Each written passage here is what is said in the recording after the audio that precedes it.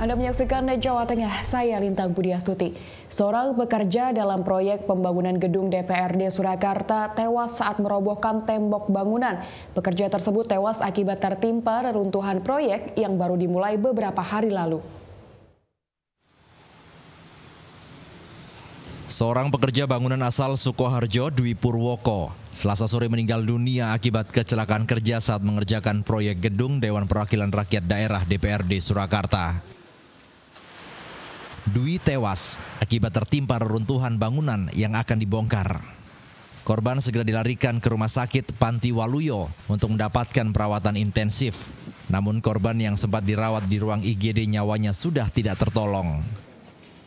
Sejumlah pekerja yang berada di lokasi tidak mengetahui kronologi persisnya. Kejadian berlangsung cepat dan kondisi korban ditemukan dengan luka parah di kepala. Dia kayaknya sudah pingsan. Sudah tidak ada punya tenaga lah. Dia tiba-tiba langsung ya kerobah dengan orangnya itu. Posisi orangnya di atas. Di atas benar, di atas. Terus terjatuh gitu. Ya.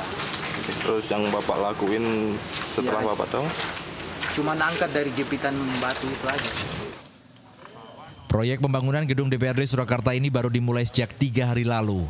Bangunan gedung parkir ini rencananya akan dibongkar untuk dijadikan ruang kerja pimpinan. Ini tadinya eh, tempat parkir untuk parkir eh, mobil dan kemudian ini rencananya nanti kan akan dipakai untuk eh, dua lantai di sini.